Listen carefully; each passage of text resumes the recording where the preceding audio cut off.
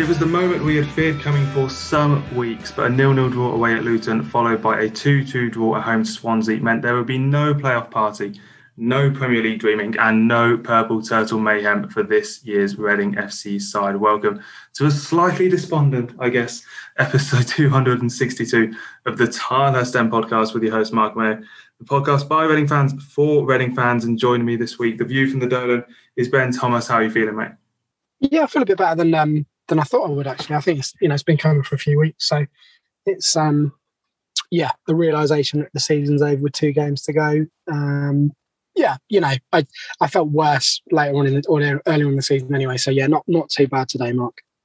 I guess at the very least, this doesn't come as a surprise. Anyone who's watched Reading for the last 10 or 12 weeks will have known that, you know, as I said, this is the moment we feared coming. It's not as if it's laid on us at the last minute with a, a, a kind of Leo Ulloa esque last kick of the ball while while Reading fans are streaming onto the pitch thinking that they've got sixth place when in reality they're seventh.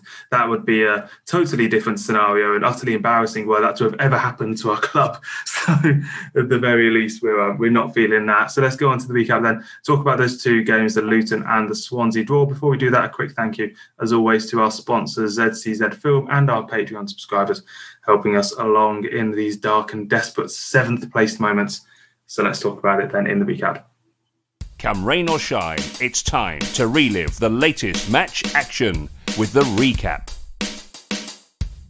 This podcast is sponsored by ZCZ Films, Reading's oldest ultras.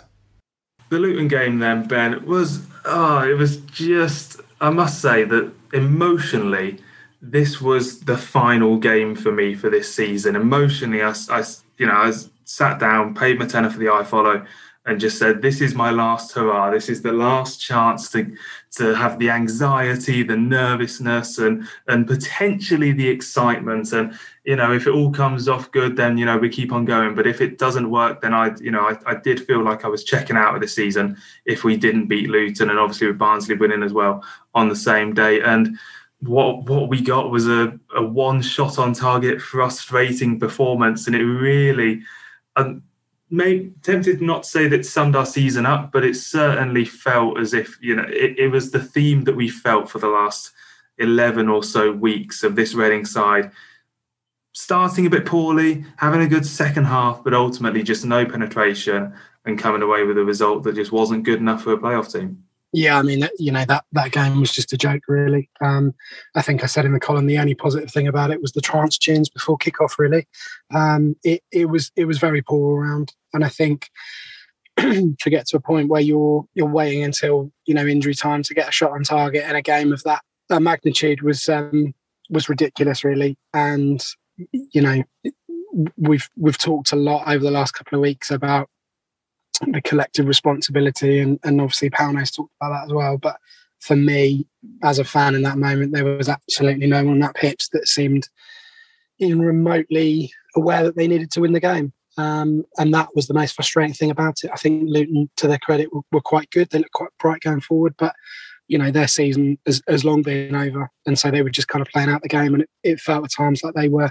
more interested than we were in, in getting three points. So I think I agree with you. I, I think at that point I was like, well, incredibly, we've still got an outside chance to to get something into the playoffs heading into the Swansea game, but it was a very poor performance, really, and, and very disappointing. Um, so, yeah, it, it, it was very difficult to watch at times and and, and very lethargic, and and it, it, it did really, as you said, sum up the last couple of weeks as as as kind of the club and and as as a fan going through those highs and lows, but I think certainly that game took the emotional toll on me, as I'm sure it did many others listening to this. So it was a difficult result to take, but it, it was what it was. Um, and no amount of positivity from from Paunovic after the game could have convinced me otherwise. That was anything more than a than a shocking performance, really.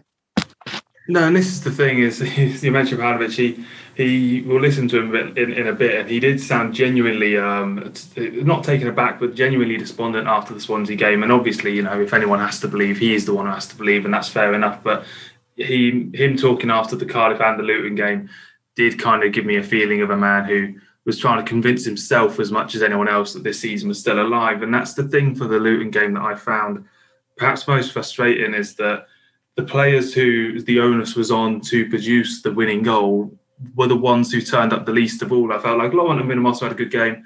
And, you know, the defence did bits to stop Luton. Luton had a couple of chances they didn't take. Raphael made a bit of a flappy save that worked out. But um, it just felt to me like the, the players who were most stable in that game were the defensive players. And that we go to the Swansea game I think that the, quite clearly the best player on the pitch actually for the Luton Reading game is John Swift when he came off the bench, and it was no surprise to see Swansea, uh, the Swansea game, him start.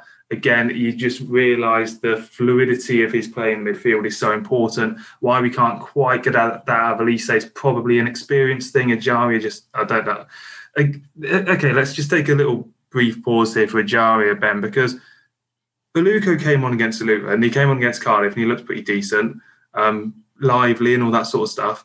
What would it have ever taken him for, for him to have started against Swansea? Because once again, we persisted with Ejaria on the left wing.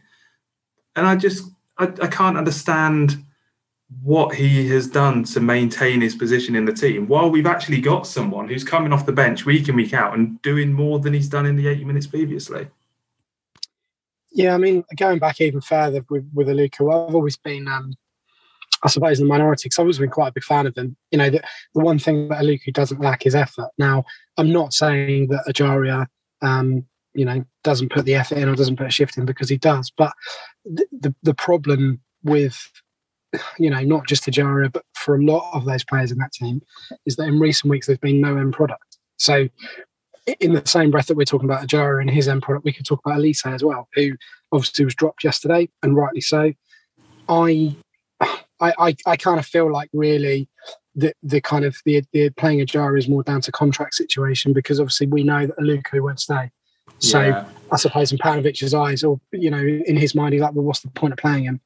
And I, I feel like, you know, with with with Aluko being there, he is he's always given as much as he can give. He's never sulked. He's never thrown his toys out the pram. He's never gone on social media and complained. And he's been, you know, I don't like the phrase, but a model professional. Now, people listen to this might say, well, he's on, you know, 20 plus grand a week. It's not really the point, though. You know, we've seen in previous years when players haven't played that all hell was broken loose. And he has just got on with his job. And I, I feel very sorry for him, really, because he should have he should have been given a chance with a lot of other managers.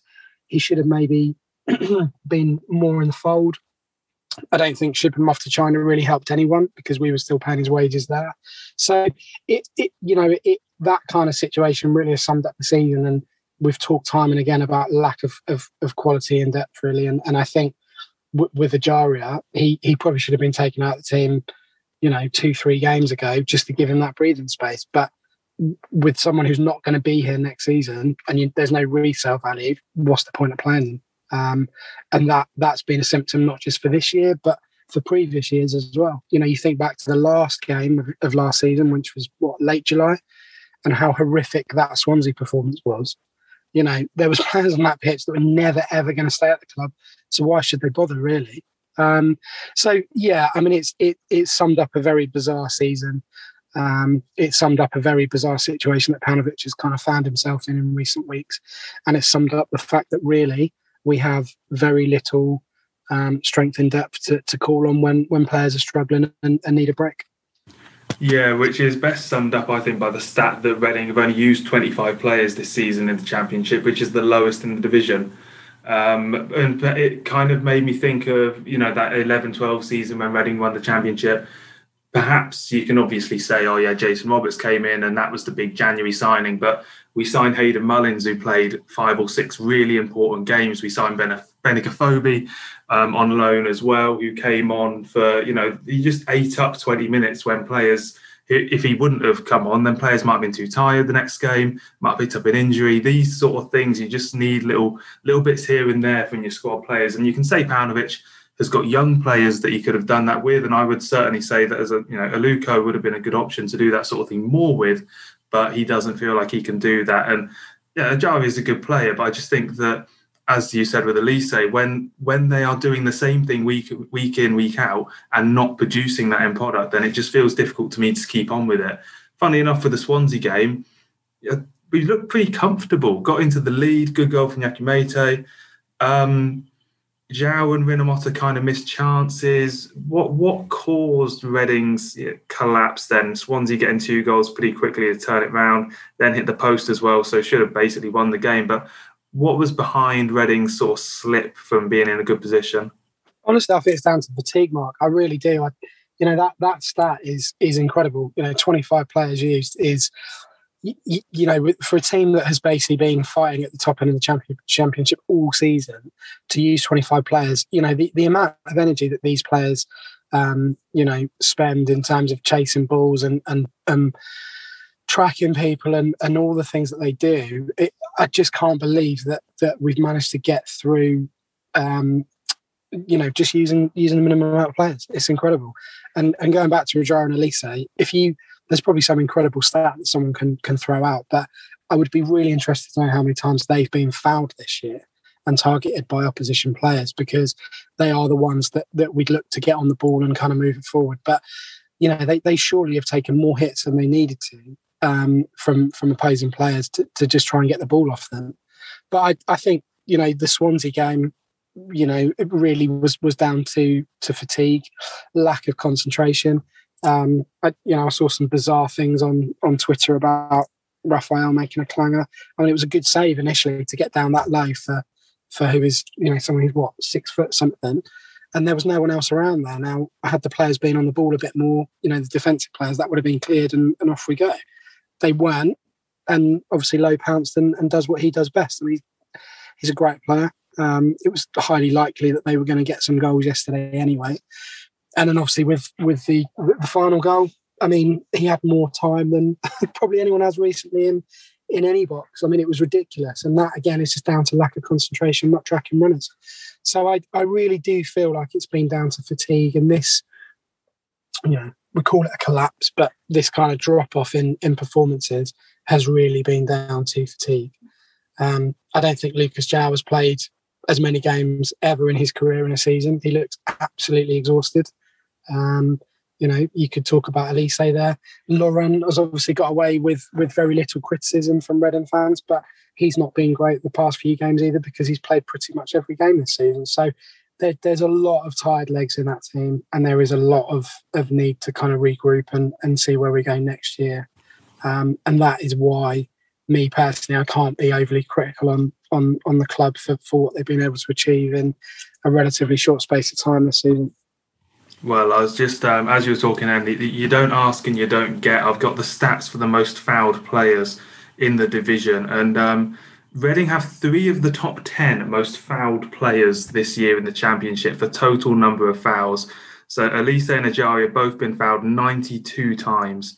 Um, that's the sixth or joint sixth um, number of times being fouled, and Andy, Andy Rinomhota actually 84 times being fouled as well, who's 10th in the league. So you're absolutely right. You you've got players that have been kicked mercilessly for a lot of the year, and um, and both of all, all of those players played over 3,000 minutes. Rinomhota 3,500 minutes, which is the um, third most out of those 10 players, just as a as a bit of a comparison. But I think you know when you talk about criticalness of the team and everything, I I'm just drawn to the realization in my mind that if we'd have swapped this season around and we'd have started with this sort of dodgy, dodgiest bout of form and ended on seven wins in a row or seven wins out of eight, sorry, we'd have thought this is a brilliant team who's going to go on to great things next season. Now, obviously, momentum into next season doesn't exist as it would in that scenario in reality.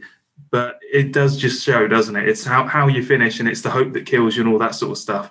Um, comes around quite a lot. And uh, there was one moment actually in the Swansea game when we were 1 0 up, and Sky Sports put their little um, as it stands table in the bottom corner, and suddenly we were only five points away from Swansea. And I was like, hang on a second, there's a chance that I didn't see yeah. us take it. So those sort of things, I think those are the things that are the most galling, aren't they? And at that point, I just started googling Swansea's um, final fixtures. So hold on, could we catch them now? You know, obviously Barnes are there, but I was like, well, if if Swansea is the only one left, what can we do? And you know, the, the, the, they did what they did last season and have, have, managed to secure a playoff spot in Berkshire. So it, it it's yeah, I mean, it is galling and and it, it has been, as I said, an up and down season, and, and it is as we've always said with with Reading, it is the hope that kills you. And I think based on their their performances in, in recent games, they've done well to keep it going up until the last two games, really. Um, I think there's, there's been some huge success stories, which I'm sure we'll talk about in a minute. But, you know, I'm not I'm not too despondent at this stage about how our season's gone. And I can understand people saying, oh, you know, we've bottled it and it's been a collapse and things like that. But, you know, without sounding boring, you've got to look at the bigger picture. And there is literally no Reading fan in the country or anywhere else that would have said that we would have been competing at the top part of this division this season. Absolutely no one. Um, and if if you were one of those people that thought, yeah, we'd do all right and, and we would be competing, you know, then you're going to be disappointed because you feel like you should have got there. But I just can't, I can't see how anyone can um, label this season as a, as a disappointment and as a failure because, you know, we were never ever going to sustain that form because we, we, you know, we're not good enough. We we haven't got the players to back that up. Like you said, we haven't got players that can come on and do 15, 20 minutes of high quality work towards the end of the game. We just don't have it. Um, so yeah, it, it's it's a difficult time for Reading fans, and there's a lot of split opinion in the fan base. But I think when people sort of go away and have a summer, they'll realise that actually this was a good season and and we've performed well, really. Well, let's um, end the recap then. There's one last point I want to make, but a couple stats to throw at you. Um, ironically, we're actually on the best home unbeaten run um, since August 2017, which was the period in which we made the playoffs. Um, six games we're unbeaten at home now, so that's the best run of the season. Um, I think there's four draws in that though. Uh, we, we, are actually winless in 15 games versus Swansea, so maybe we shouldn't have expected anything because um, again, that's probably going to include a playoff um, defeat in there as well. Um, the last point I'm going to make about this game then contrast this game with the Bournemouth home game. And the reason that you can do that is because both Swansea and Bournemouth, when they came to us, were top sides, were our top sides. Both were actually on really bad form when they came to us and were there for the taking. And it shows how much we've slipped, as we've talked about, that the Bournemouth game, we flew out the blocks, took our chances, three great goals, game's done, game is done at half time. Swansea game, we get a goal, can't build on it, did you know didn't play badly at all, but just couldn't get it over and couldn't take that chance and couldn't get it over the line. And I suppose those two performances, if you want to compare and contrast how Reading have slipped from the middle of the season to the end of the season, I think that's a pretty good comparison for it. Yeah, I mean, I think I'd go back even further. I mean, there's four games that stand out for me this season. Um, first one is obviously Blackburn away, early part of the season when Blackburn were a really good run, and you know they were top scorers at that point, and Armstrong was doing really well, and we just absolutely savaged them. You know, there was literally no club that could have lived with us in that game. We were just superb from from start to finish, really. Um, Bristol City at home, where Bristol were on a good good run of form as well, and again had a had a fantastic result against them. Cardiff away, um, where you know, suppose at that point they were they were they were a good side, and and we just made them look ridiculous. And obviously, you know, the Bournemouth at home game, which is probably my favourite of, of of all because of the the quality and and you know I can't generally can't remember a game where we were three 0 up, you know, in a game of that magnitude. Um, so you know we've had some some great results this season, some great performances. The problem is is that you know probably from Bournemouth uh, at home, it kind of all all deteriorated from there. Really, I know that um, Don Goodman, the you know the Sky Sports guy, said that it was Preston, and he's got a point. You know there was there was an element of that missed penalty maybe that that that probably put the, the, the kind of the demons into our heads a little bit. But for me, I think it's probably probably the Bournemouth game was was the height of what we reached this season. Um, so yeah, it, th- there are lots of good memories, but you know, you think about Wycombe away and you think about Birmingham away, and you, that's that's six points, and that would have got us in the playoffs. Um, so yeah, we can look at missed chances, but we also need to kind of really celebrate how well this team has done with those games that I mentioned earlier. Yeah, we'll, uh, we'll obviously be doing a season review at the end of the year where we'll have a bit more of an in depth look back over the season. But just one game for me that I think, in terms of turnaround and what went from, from good to bad, I think that Wycombe game did a, a lasting psychological effect on the team. And certainly Lucas João, if we win that game, it's very different. You mentioned Birmingham a game where we went just as they got a new manager. So if they'd have sacked Aitor Karanka a week later, we might have been in the playoffs right now. But that is the that is football. They play the cards you dealt. So let's hear from um, Ratko Paunovic now. As I said, a bit despondent as he spoke to the club after the game. Um, and after that, we'll be going into the mailbag. We have to look at the at the things that we we have to improve and um, and implement in the future as uh, as one of our uh, another element of our identity. But again, uh, very proud, very proud. I didn't know actually what to say to the players because again I didn't prepare for this. But very proud of um, of their effort and very thankful also for for everything we've been through, all the setbacks, all the injuries, and being capable of recovering several times. Some of uh, the players not only recovering their health and well well-being, but also their form and their performance. Uh, it's been it's been great. It's been great to see the guys uh, coming back and uh, playing as a team, and you know looking for for each other. Um, it's it, it's it's it's a great again more positives you add to this you you feel uh, more disappointed because uh, today I think we we had a good game but we didn't I, I, I just you know feel it's um, it's a difficult moment for all the latest Reading news, analysis, and opinion, visit the website at thetilehurstend.com. So, Alan Scott getting us underway then, emailing in the tilehurstend at gmail.com, the best place uh, to send in your mailbag questions. He says, strip back the potential positive consequences of the new manager effect from this season, and what are we left with when you examine the last two thirds of this season in respect of Pauno's performance? It feels he's made little progress with such an expensive and talented squad at his disposal. critically, when the pressure has came, we have flopped. Did this expose Pauno's shortcomings as a manager? Now, I suppose there's two answers to this question, and it's probably you know a really boring way of saying it's somewhere in between. But in between, we but we have seen, as I talked about with Aluko and the substitutes we've spoken about in the last few weeks, and doing the same thing over and over again, and in the last few weeks, and expecting it to produce better results than it has done. That is a flaw on Paunovic's system. I think we have, you know, we have we've attacked a lot of games and come away with some poor results, and the manager bears the brunt of that. I think, but I think it's a pretty heavy. But as we've spoken about earlier on the podcast, we don't have a big squad. The young players, you would have to assume that if he thought they were going to be properly championship ready, he would have played them more often. Um, and really, I think, as Alan says, you know, the the new manager effect of him coming in, I feel like there was a lot of performances in the last two thirds of the season where he has done particularly well, where he has produced some pretty good tactical setups that have got some good points, and ultimately. Um, while he's not devoid of criticism for the the post mortem, as it were, he's probably not going to take the biggest slice of blame for me in terms of you know why we didn't make the playoffs.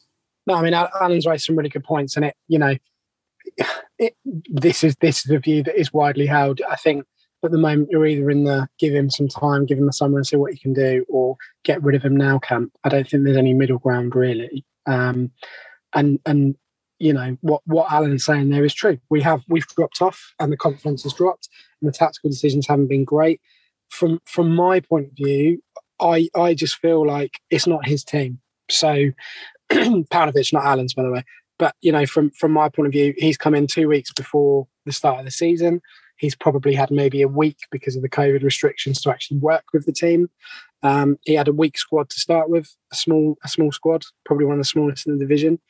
He was able to bring in three loanees, who, to be honest, you know, when when we do the kind of the the season review, they're pretty average. Um, they, they don't get near the, the first 11 in terms of starting at the moment unless there's injuries. I know Esteves came on and scored a great goal yesterday, but he, he won't stay beyond this season.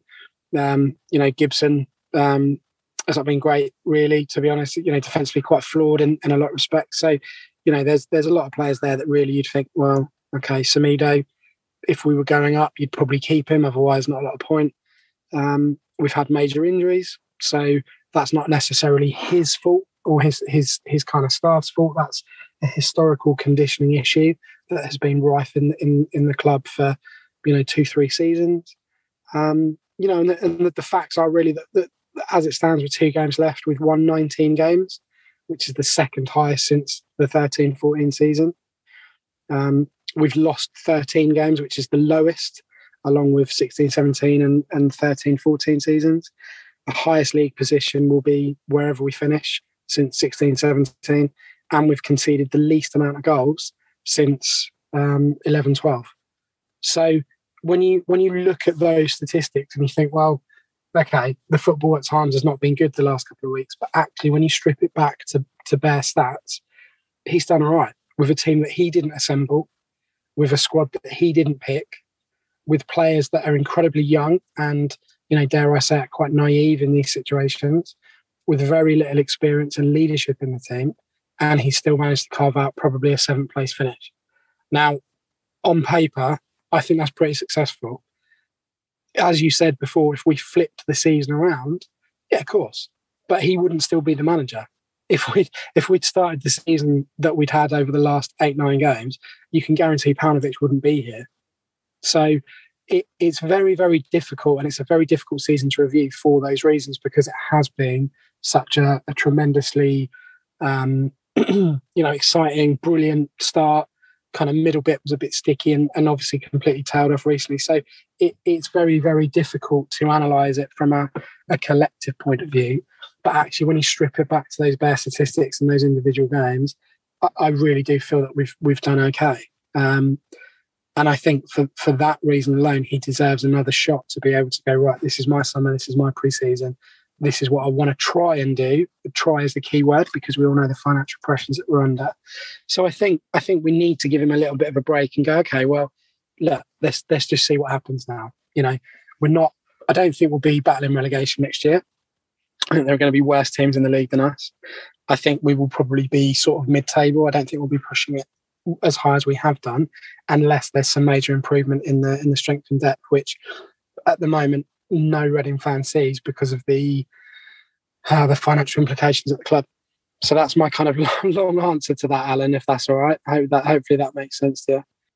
No, I know what you mean. That's a it's a very good way of putting it. Is that if um you know we we have all all of these things in comparison to last season. I think the problem is as for myself and a lot of other Reading fans of perhaps of, of my age and older is that we see Reading as the team that won the championship in 06 stayed up the team that won the championship in 12 that got to the playoff final in 17 you know these are over a pretty short space of time have had some really amazing achievements. But if you narrow it down to the last three or four years um, there haven't been any achievements. So it's it's very difficult. It depends where you're coming from as to how big Reading really are perhaps. But you know one way you're, you're saying about Paunovic coming in very late.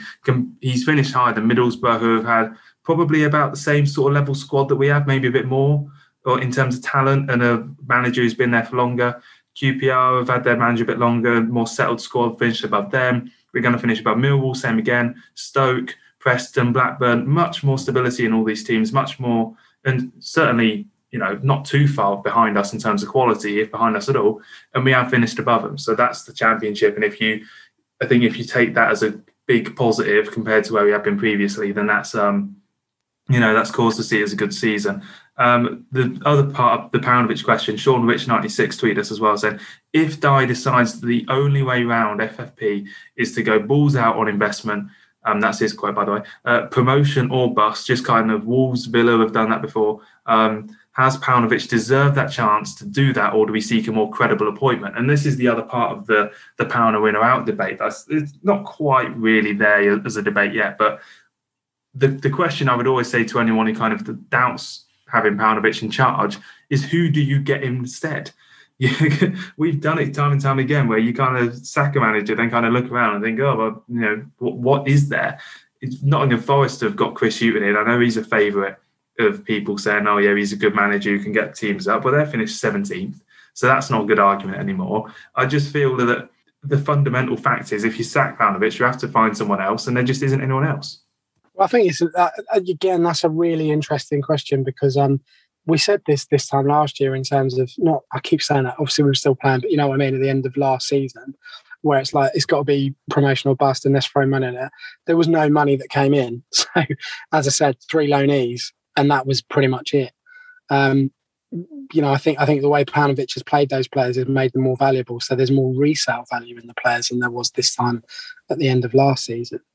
Um, it, it depends if you if you want to sell your soul really, and you go for someone like Nigel Pearson, where you go right, just get us, you know, automatic promotion. Here's all the money you want, crack on with it.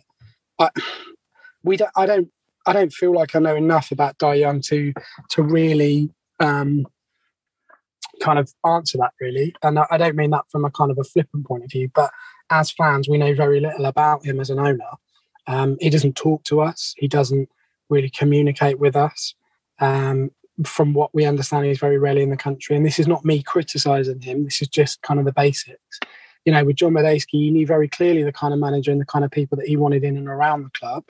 That was then obviously slightly distorted by by Zingarevich, and then obviously Riyad Clement and Gourlay and all those other chaps in. So it, it, it's become a bit blurred over the course of the last sort of five, six seasons as to what direction the club wants to go in. Again, I don't want to come across like I'm pro Pauno because I support the club, but I feel like he, based on those stats that I kind of rolled off, I feel like he deserves the opportunity to be given a bit of money and go, okay, what are you going to do with it? Um, you know, I, I, said when when Bowen was sacked that we should have kept him.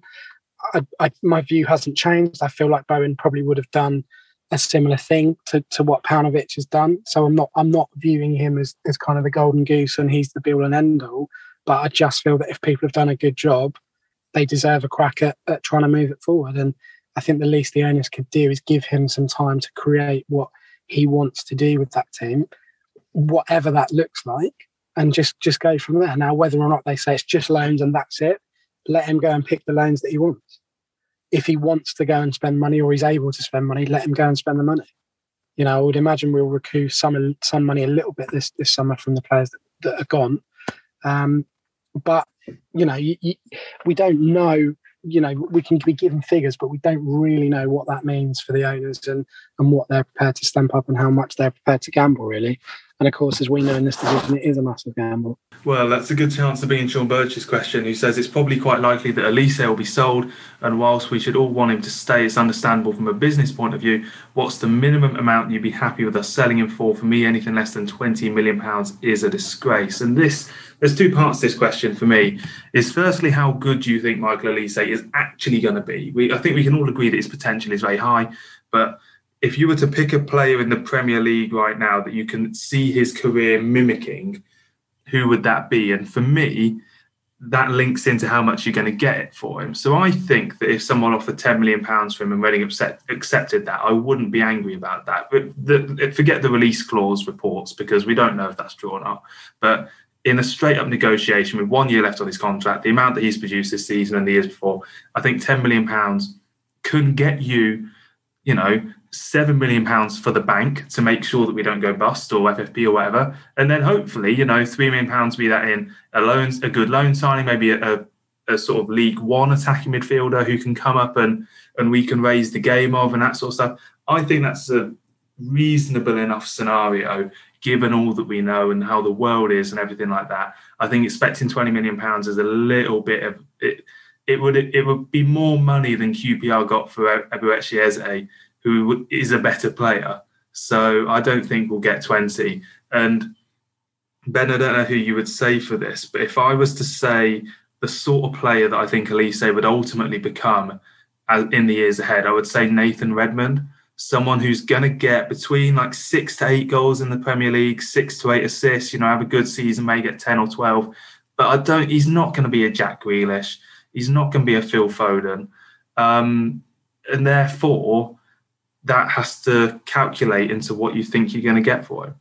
Well, I think in terms of comparison to players, I mean, I think yeah, Redmond's probably not a bad shout. I, it depends. I know it's, it's an obvious statement. I think it depends where he where he ends up. I kind of I get what Sean's saying about about getting 20 million for him, and I think had had he probably had a better run up to Christmas, we probably could have cashed in on him in January if people were going to stump up the cash really. I think I think he's gone anyway. he's not staying. He's not going to sign a new contract with us, which is probably what the club will try and do. So I, I would imagine that they will probably start looking for suitors for him now.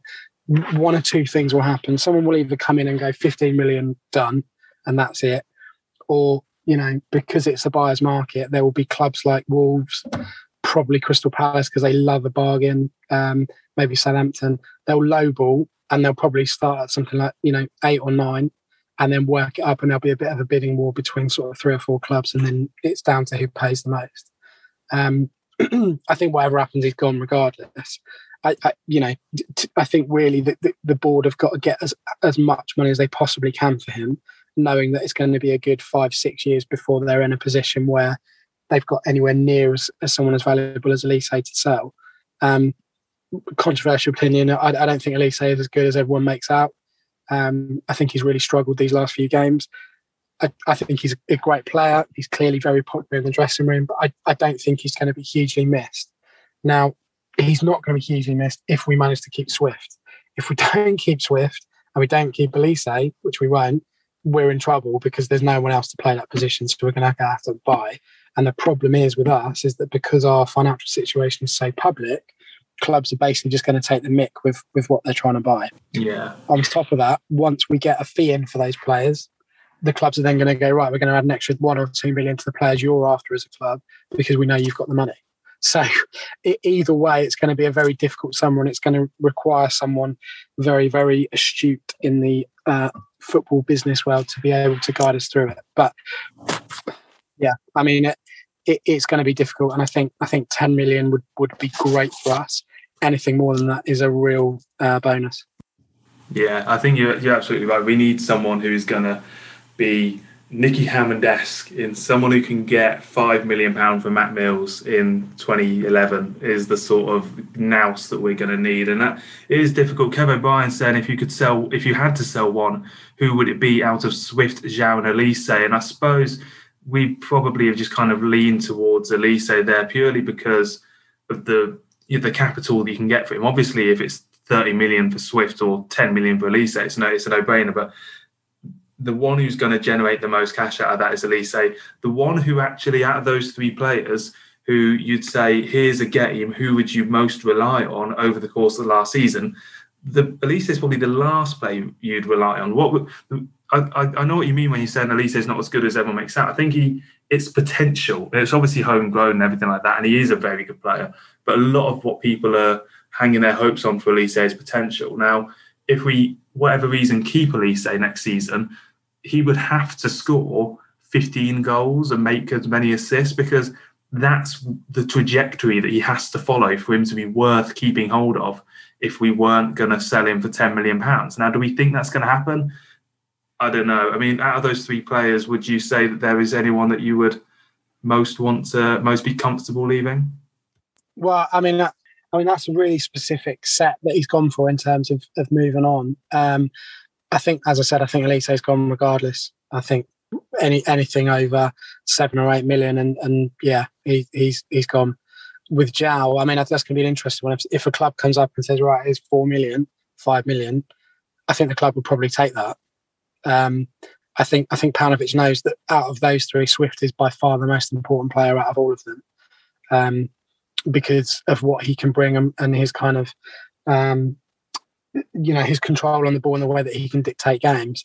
Now, obviously, he's not we've not had a full season out of Swift, so I think that might just get him through the summer with us. I think I think clubs might be a little bit more dubious of spending money on him. I hope. With João, I would I would like him to stay. Of course, I would because we need goal scorers in the team. That said, I think if if if there's a is a good enough offer that the board can accept, I think he'll go too. Um, and that then leads on to a whole host of, of potential situations where there could be any player up for grabs at that point. So I think it's really important that the club identify who they desperately, you know, want to make money out of, and then who they kind of think, well, if we get a good offer, they can go, and then players that they absolutely categorically need to stay in that bracket, I'd put Rinomhota, um, I'd put Laurent, um, you know, I'd put Yiadom at the moment because we haven't got anyone else to go. Obviously, Morrison and McIntyre are, are, are kind of in in theory up for grabs, but again, you know, I don't see any clubs steaming in and going, "Here's loads of money for them in terms of wages." So it, it, I think it's going to be a really interesting summer. And we, have said for the last two, three seasons, our summer is really important, but this really is a big one because we, we desperately need some money through the door to avoid any sort of points deduction. Yeah, well, Andy Taylor says how much of this squad will still be here come the first game in August. I think that's um, such a that that could take us a long time to go through that. So I think I'm just going to leave that one for now and say, I mean, he says that Richard Zaluko and Baldock are going. I think it's so difficult to predict how many others are going, and what ties that into is Philip Norris saying, "Do you think we'll get a points deduction this summer?" Ben Stevenson saying, "With FFP and the points deduction in place, I mean, I'm not sure there is a points deduction in place as well, but um, would you be happy to sell the likes of Rafael João Puscas, um, the main boys on a high wage, and play the likes of Southwood, sign a League One striker for next season instead?" Now, points deduction wise, I think there's going to be a lot of politics going to be at play here because FFP or profit and sustainability, as it's known in the championship, is not just going to be near Reading. It's going to be a lot of clubs that, because of the pandemic, fundamentally, are going to be wavering around those lines. And therefore, if it comes to be that there's seven or eight clubs that are going to be hit with points deductions, I don't think that it's politically viable to do that in the midst of a pandemic of all that we know. And just FYI, the accounts that we've just had for the season, I think is 1920, the accounts for this season for everyone are going to be absolutely terrible because there was no fans at any point, really. So I don't think that um, the points deduction is particularly viable. If it happens, of you know, I'll accept I'm wrong and that maybe they are going to just points deduct half the league and that's what they want to do. But I think what's much more likely, Ben, is that we'll be under some sort of transfer embargo like we've been under before. That was the kind of soft embargo where the um, Football League had to green light our signings. If that is the case, Reading are probably going to end up selling early. Olise say, I mean, Ben there, he says you're going to be happy to sell Puscas. Yes, I'll put him in a wheelbarrow and walk him there myself. Um, it's honestly. Oh, that's harsh on George. I love George. I think he's uh, great. He's uh, he, he is someone. If someone offered three million quid for him, I would absolutely wave goodbye because yeah, I think I think he's up for grabs. I think that you know honestly, Mark, I, I do. I think this season or this this preseason, I think they're all up for grabs. I think that the yeah, point yeah. that um, whoever I can't really say it, you just mentioned it, but Raphael for Southwood, yeah, South was out of contract. For God's sake, give him another contract. You know, even if you give him one year, because if someone comes in two million for Rafael, yeah, I'm again, I'm not against Rafael, but it's money through the door, and we can replace these players with players that we know have got a bit of hunger, a bit of heart. Southwood is, is so highly rated by so many in the game. You know, when he had the loan spell up in Scotland, they absolutely loved him. So well, and also we've got, we've got Southwood, and then we've got Coniah Boyce-Clarke as well, who's a, yeah. probably a bit green to be having in the championship squad at the moment. But if that's the scenario we have to have, then you know I think so be it in a way. But what I mean about Puscas and those sort of players is that they are absolutely not worth. You know, you don't want to sell them for nothing. But I just feel like him in particular is the sort of player who's going to have resale value, particularly to foreign clubs. You know, as the first choice Romanian striker and that sort of stuff. He's the sort of one that I think the club are going to have to say if we do encounter, you know, a transfer embargo or something like that. He is the sort of player that I think the club are just going to have to say this is the, you know, these are the guys that we're going to sell. You said earlier about the club need to know who is potential. Obviously, you know, high marker for the players they don't want to sell, but who is up for grabs. I really do think that he should be one of them because fundamentally he's not done enough for me. And the other know, one, sorry to interrupt, but the other one we haven't mentioned is Liam Moore. You know, if if if an offer of two three million comes in, I think he's gone as well because that. You know, he, he's not he's not been great the last couple of games. I don't know if it's because of the, you know, the, the kind of the, the fatigue element or maybe the social media. Um, you know that that that kind of you know appalling incident is playing on his mind. But he's he's been touted for a long time to be leaving, and it's never come to to pass. So I honestly think with him, you know, if, if we if we can keep McIntyre, uh, Morrison, and obviously we've got Holmes as well, and then bring someone else in potentially on loan, that's four centre backs that we've got there, and we've survived with less than that. So I, I really feel like if if a bid comes in for Moore, I think he's gone as well. Yeah, points deduction. Then that was the point, kind of uh, the crux of the question. Are you, you know, out of ten, how much are you fearing a points deduction this summer?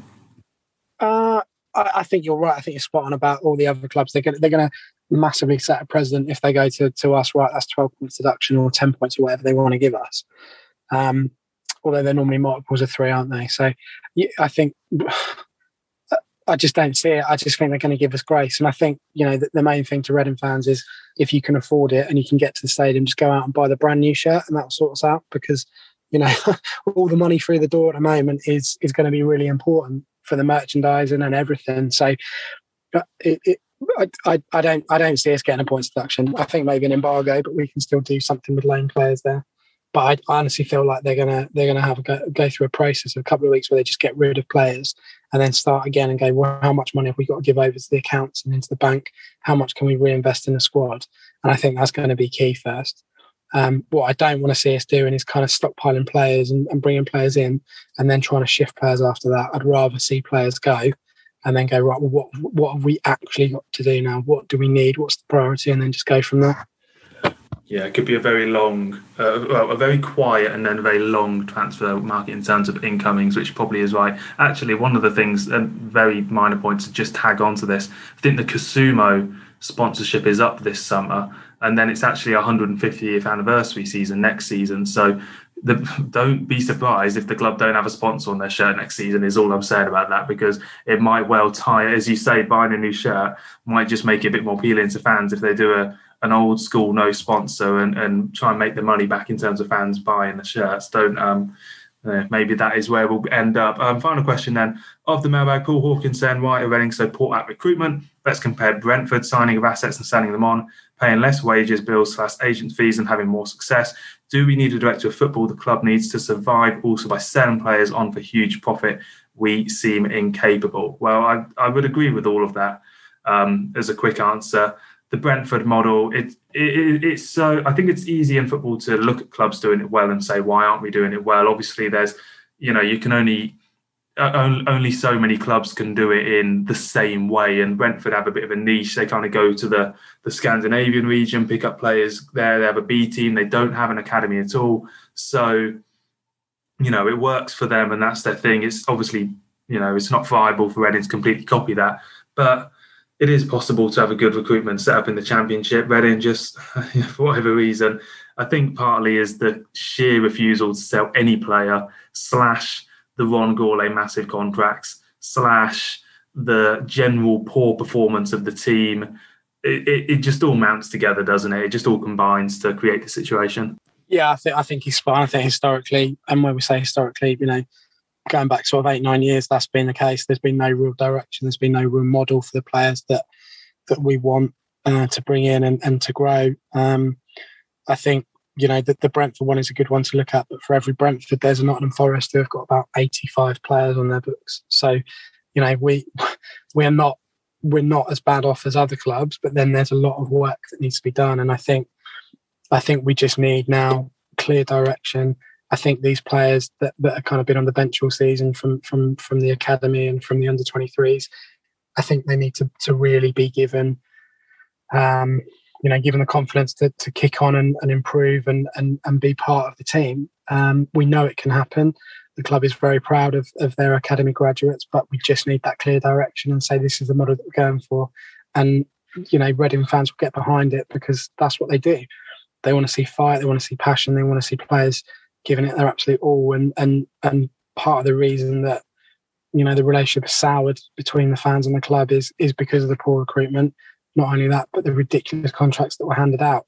That's not the player's fault. You know, if someone's offering to pay you twenty grand a week to be a utility player, you're going to take it. So, you know, I, I, those days are gone now. Really, with with Baldock and, and Aluko moving on, and and other players as well. So yeah, I think I think he's absolutely spot on with what he said there. But I, I really do feel like there is a change coming, and and with the director of football comment, I don't think it's necessary. I don't think directors of football really are, kind of are vital anymore. I know we've got like a footballing board that includes Michael Gilkes, which is probably not a bad thing, but someone really needs to be taking charge of these these decisions and saying what what do we want as the model for this club? Forget this season, forget next season. What are we going to look like in you know three, four, five years time? Yeah, absolutely. Well, let's move on into news bites then and uh, discuss what's been going on around the club in the past few days. Send in your views to the tilehurstend at gmail.com and have your say in the mailbag. I suppose this links in with the mailbag because anyone who wants to send us a um, you know a question or a thought for next week's show, please do that via the email, the tilehurstend at gmail.com. Alternatively, send you can send us direct messages on Facebook and on Twitter um, or just you know tweet us generally. Um, there won't be pretty, I'm pretty certain that we're going ahead now as joining in what is turned into a huge social media boycott across English football, from the Premier League down to the Women's Super League and the Football League, as well as the FSA, the Fans Federation, the LMA, loads of organisations like that, loads of supporters groups getting involved. Um, a huge uh, three day from 3 p.m. on Friday up until the end of Bank Holiday Monday, a social media boycott of all platforms as a show of solidarity against the platforms that uh, we consider to not be doing enough to end online hate and online abuse, particularly racist abuse, which continually continues to be uh, all too prevalent in football and in society. So we are looking like we'll be joining that. We're just, you know, it's certainly as a as a what we consider ourselves to be a pokey Reading podcast. It feels perhaps a little bit uh, big for our boots to be kind of making these gestures, but I think ultimately the solidarity of it is uh, is kind of persuading us to join in, and that means obviously, you know, just for the side point of the mailbag, do send it in directly to us. But Reading are going to be joining it. Um, I think certainly a lot of Reading um, pages and everything will be joining it as well. And and Ben, this is a, you know, it's it's good to see the club being being part of these things at the forefront. And obviously, what we saw with the awful incident with Liam Moore recently, it's uh, it certainly couldn't come. Um, it's certainly not too soon. Yeah, I mean, you, you can't you can't criticize anything or or fault anything that is um, is actively trying to tackle racism. Um, I, I, you know, there's no other option at the moment. Um, sounds very old school, but if people can't behave, you take it away from them, and, and that's that's exactly it, really. Um, it's it's just beyond disappointing now. It's just disgusting that this keeps happening. So, yeah, top marks to to everyone involved, and um, you hope that it will have you know a positive impact, and and people will really start to think about their actions and and the way that they they post things on social media. No, hundred percent. So yeah, as uh, as say, the club and a lot of other um, club people being involved in that. Let's talk about what's gone on around the club as well this week. Not pretty disappointing last few weeks for the women's team. No wins in seven now. Lost 3 2 to Spurs in the FA Cup, then a 1 1 draw with Birmingham in the Super League. So they're seventh in the league, winning four four games out of 20 this year. It's a weirdly, weirdly, uh, weird league, the Super League.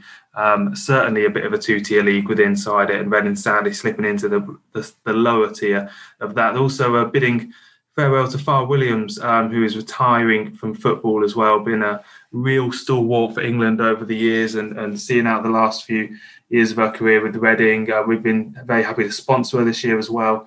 And also, we had him on the show a few years ago. So, really, um, top player, um, top person, and congratulations on a, on a great career, Fara. If you're listening, and uh, any Reading fans obviously do send on your your congratulations to her for a very good career in the game. She's uh, put that up on Twitter. Um, under 23s, they lost 2 1 to Sunderland today. The under 18s had a 5 2 defeat to Brighton and a 5 1 defeat to Fulham. So, not really, and not, not a great picture around the club at the moment. They're 11th in the Premier League at the moment. The under 18s, they got Southampton, who are bottom on Tuesday. Reading play on Saturday, 3 pm, May the 1st. Let's talk about that now in Big Match Preview.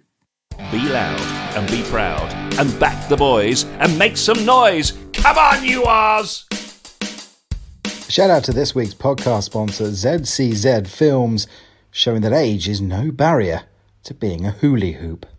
Keep an eye out for Norwich away. As I say, 3 p.m. it is on Saturday. Um, I, we were talking about this before. iFollow, I'm pretty sure, is an option, but I think Sky Sports at this moment in time haven't announced what game they're going to do on Saturday. So that may maybe by the time you're listening to this, they will have it. Might be on TV because if Norwich win in the Championship, um, they need a win to guarantee it or to better Watford's result. Um, or if, I think it's if Watford don't win, then that pretty much guarantees it as well. So yeah, pretty big game for Norwich. Sadly, not a big one for Reading. And I suppose the question is, Ben, do do we do anything different? Do we shunt the loanees out of the squad or shunt the players out of the squad who are out of contract at the end of the season throw more kids in? Do we at least take this game a bit more seriously before doing that against Huddersfield? Um, I, I would not like to see us go and get a Watt 7 0 by playing loads of kids against the best team in the league. No, I don't think he'll do that. I, I was really encouraged actually by, um, I know he was very despondent and, and you know, disappointed with the, with the Swansea result and, you know, the, the fizzle out of the season really. But you know, one of the things that sticks out or sticks out for me is the fact that they said we still got responsibility to the fans and to the club, and I think it's very easy to say that, but I, I really hope he sticks by that because you know we, have still got to get play a game of football. Norwich will, probably will win anytime a team needs anything. They play us and they get it. So you know they'll they'll get the win and they'll be they'll be champions. And, and congratulations to Norwich because you've had a great season. But what I would say is that there is literally no point in putting Baldock and Aluko in the squad um, because they, they're gone. As much as I like those players for their work ethic and their professionalism, as I said earlier, there's no point having them there. You know, let, us just see what else other players can do if they come on the, off the bench and, and and go from there. Really, in terms of team selection, I think you'll probably want to play some of those players that have been injured. So, you know, if if Swift is is is fit enough, um, which he you know should be to to start the game, then see if we can increase his minutes heading into pre-season. Um, same with João. I'd probably stick Olise back in just to mix it up again. Um, but yeah, I mean, you, you'd, you'd like to see a few more younger players come in. Maybe stick Tetek in for for Reno or or Laurent to give them a bit of a break. But you know, other than that, there's there's very little option that he's got really. Um, you could argue that he could play someone like Neves coming through, but would he want to would he want to chuck you know, a, a young striker in, into the mix against the, the, best team in the division? Probably not. It's probably not a good game to, to ground him in. Um, you know, maybe Huddersfield, the, the, last game of the season, might be a better game for that. So I think the, the team selection will be intriguing in terms of what who he values there and who he wants to push through. Um, but I, I mean, I don't see anything hugely different in in what's going to happen in that game, really. No, um, it, it's actually some stats to throw at you for this one.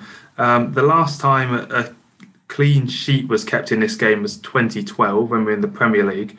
So it's the last you know eight or nine meetings have been festooned with goals. There's always been a there's a hell of a lot of two ones in there, uh, as it was earlier in the season. Reading haven't beaten Norwich since 2016. That is six games without a win against them. Um, yeah, it, it is just one of those games that Reading are going to have to. It, it would be quite ironic, I suppose. That is one aspect of it. If Reading do go and produce an amazing performance, I suppose we can't rule out the the idea that the pressure has been getting on this squad, and that now that is unleashed, they can go and um, go and play a great game of football. I suppose that is one element to it that perhaps would be a bit of a sod's law factor for Reading, but yeah, we, have we've, we've given Norwich some good games over the last few years. I say, the two-one defeat early season wasn't particularly bad. Um, two-two we drew there in uh, April 2019 with that Rinomhota late goal. So certainly no reason for Reading fans to think we are going to go there and automatically get tonked 3 0. In terms of predictions, um, the league, to update you on that, as it gets very hot with the last couple games left, nobody picked a draw versus Luton. Um, Handbags and Ollie picked a draw versus Swansea. I had a 1 2 Swansea win, so I was very close to reclaiming top spot with that one. But uh, Westy is currently top with 27, Handbags 26, myself and Ollie 25, and Sim is on 20. Um, ben, well, prediction wise, what are you going to say for Norwich? Uh, I will predict that if Reading fans have got to pay for the game on iFollow, very few will. That would be my prediction. Um, score wise, I mean, uh, I'm just going to go 2 1 Norwich. Um, I, I, just think that they're going to want to win the title and they're going to want to do it quickly and they don't want to eke it out till the last, um, you know, last game of the season. So I think the, the, the emphasis more is going to be on on them. I, I, get what you're saying about the pressure being off Reading, but I don't think they've really played like a team under pressure. I think that's been the problem. I think over the last couple of weeks. Um, so I I don't see any massive change in our in our performance or tempo. So yeah, I'm just gonna I'm gonna go two one Norwich. I think. Yeah, nervous energy has been in short supply. Nervous, um, yeah, nervous despondency has maybe been the thing the thing that Reading have had a lot recently. I'm going to go three one Norwich. Um, I think yeah, I think ultimately this is the game. But Reading, yeah, there's goals in this fixture normally. Norwich aren't the, the world's best team defensively, and Reading aren't the world's worst team offensively. So I think we'll score. But yeah, I think Norwich will have too much, and there's a quite a high chance of a, of a late satisfying sealing goal for them to guarantee the title and they'll they'll run off merrily into the night and, and Reading will be left to contemplate another year in the championship as I'm sure we've been doing for the last well last couple of weeks in reality so that draws an end to this episode of the Tilehurst End podcast Ben as ever a pleasure thank you so much Mark you take care and uh, have a good week everybody Absolutely. And we'll be back after that Norwich game then for the penultimate show of Reading season. It feels like it's been a bit of a roller coaster, but one of those roller coasters where you're all waiting for the big dip at the end and it just kind of glides effortlessly back into the tracks and you have to get off the roller coaster and ask is that it? Well sadly playoff hopes have been dashed but norwich away it's a, it's a chance to go and have the last laugh. Come on you arsenal